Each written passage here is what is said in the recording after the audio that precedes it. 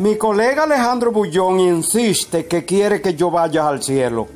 Pero yo no vivo con un fundamentalista extremista y radical como tú, Alejandro Bullón, ni en el cielo ni en la tierra, y mucho menos en el cielo, y hay poco espacio. Tú eres radical, fundamentalista, Alejandro Bullón. No vivo contigo ni en la tierra y mucho menos en el cielo.